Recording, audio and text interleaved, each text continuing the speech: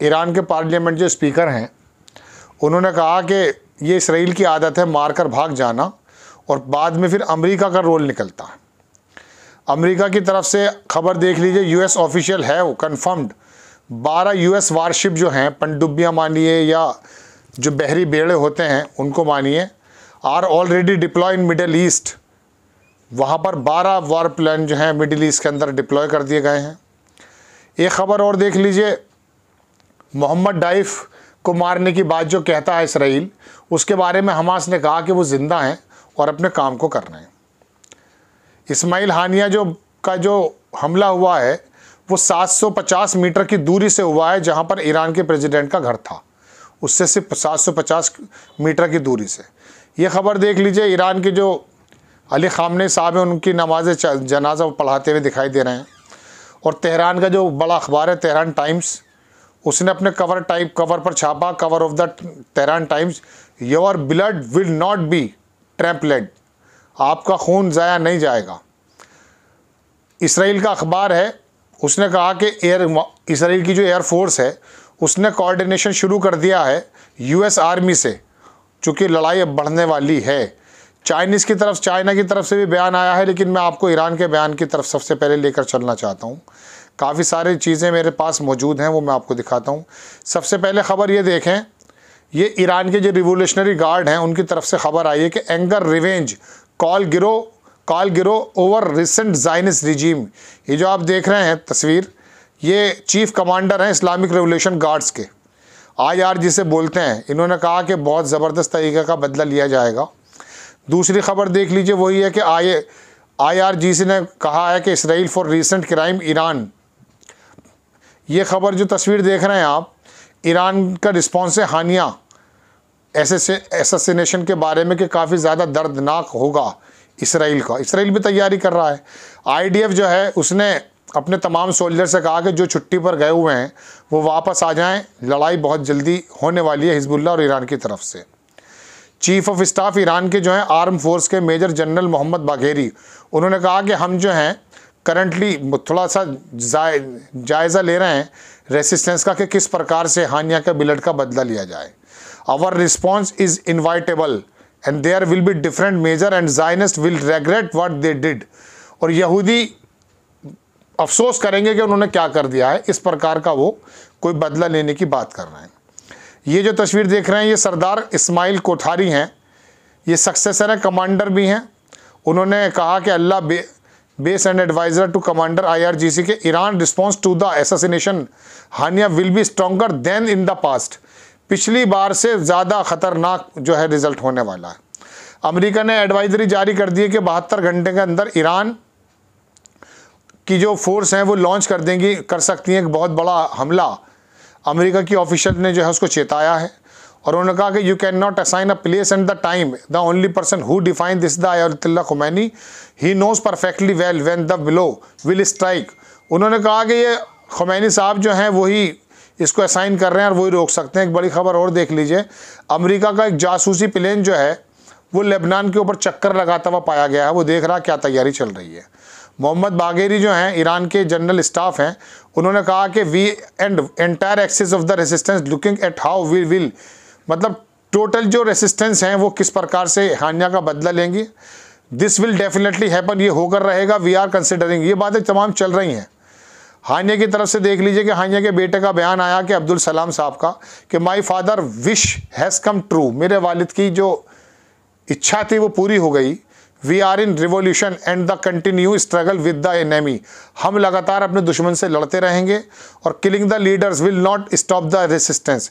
हमारे लीडर्स को मार देना हमारे रेसिस्टेंस को ख़त्म नहीं कर सकता है। इसराइल का जो चैनल बारह है, उसने लिखा है कि दोस्तों के ऑफिशियल मैसेज किया गया है लेबनान को और ईरान को। उन्होंने कहा कि अगर आपने हमला किया, result damage and the casualty Israel is ready to enter. अगर कुछ कैजुअलिटी होती है, आपने हमला किया तो हम फुल एस्केलेट वार में इन्वॉल्व हो जाएँगे। अब ये बताइए बैरूत में घुसकर मार रहा है ईरान में मार रहा है गाज़ा में बेकसूर बच्चों को मार रहा है तो ये कौन सी फुल एस्केलेट बता रहा है? कर तो रहा है बराबर। ये रशिया के पूर्व राष्ट्रपति हैं मेददेव इन्होंने कहा कि अब कोई रास्ता नहीं है सिवाय लड़ाई के शांति को स्थापित करने के लिए। बहुत सही बात है। मुझे इस पूरे एपिसोड में रशिया के पूर्व राष्ट्रपति की बात अच्छी लगी कि कोई भी ज़रूरत नहीं है, अब कोई तरीका ही नहीं बचा। यू एन फेल है। तमाम बातचीत का वो नाटक था, अमेरिका नाटक कर रहा था।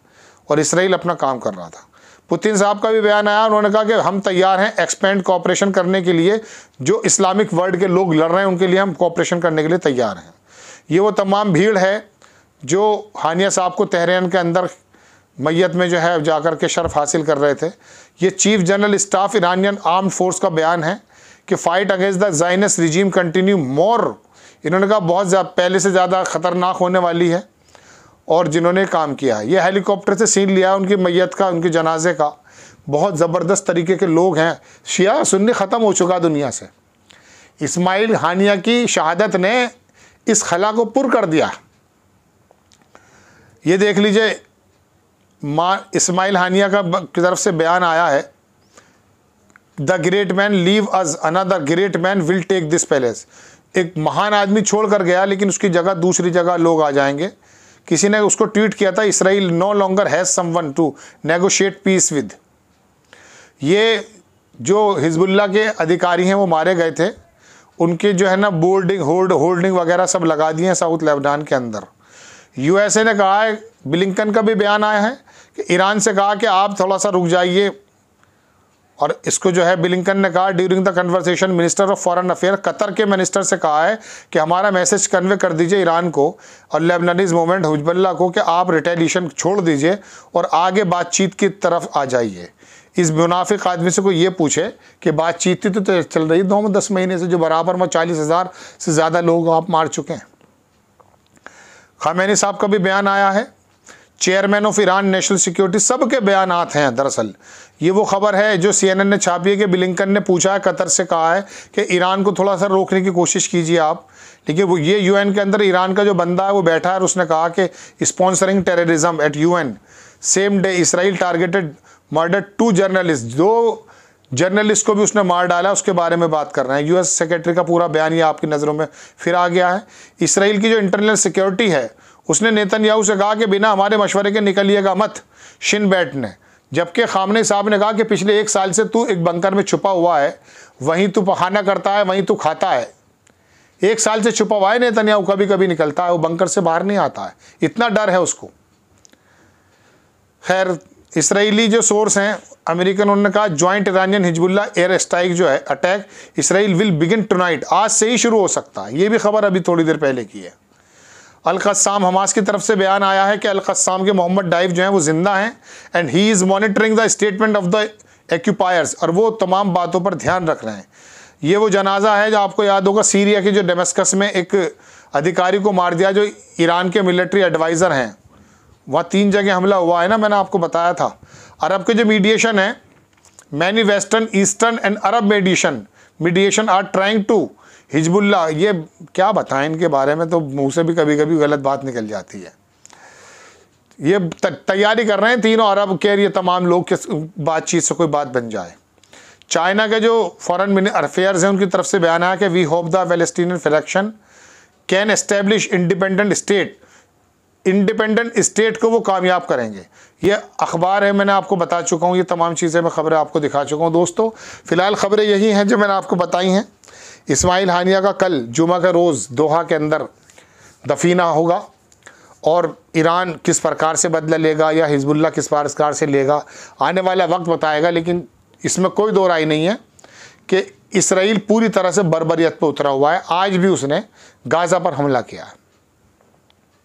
आपको ख़बर अगर समझ में आती है, मैं तो फैक्ट के साथ आपके सामने बयान कर देता हूँ। अमेरिका का कहना यह है कि आज रात भी हमला हो सकता है, कल भी हो सकता है, कभी भी हमला हो सकता है, लेकिन अब ये हमला पहले जैसा नूरा कुश्ती वाला ना करें। वो पहले जो डाल दिए थे किसी ज़माने में, अगर आपको लगता है कि ये इसराइल सरकश है तो इसको जवाब सब लोग मिलकर इनको देना चाहिए। चाहे वो मिस्र हो, जॉर्डन हो, लेबनान हो, ईरान हो, सऊदी मुल्क तो क्या देगा? सबको मिल करके देना चाहिए, चूँकि ये बात तय हो चुकी, यूएन हो या मुजाकर की मेज़, ये बेईमान है और मुनाफिक है। आपको खबर कैसी लगी अपनी राय कमेंट्स बॉक्स में ज़रूर दीजिए चैनल को सब्सक्राइब कीजिए शेयर कीजिए। नेक्स्ट टाइम मैं किसी खबर के साथ हाजिर होता हूँ। जय हिंद।